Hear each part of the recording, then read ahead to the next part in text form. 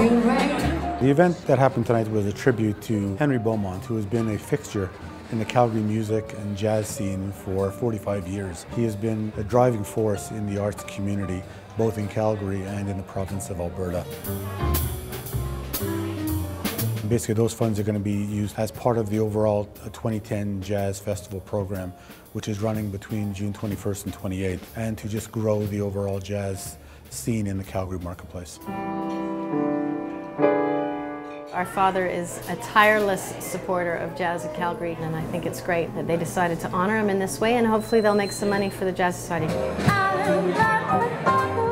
Calgary is in a great music scene. The appeal for jazz has spread to definitely a younger crowd. There's a real vibe and a buzz in the city during Jazz Festival Week, and we hope to be able to expand on that and make that grow over the course of the years.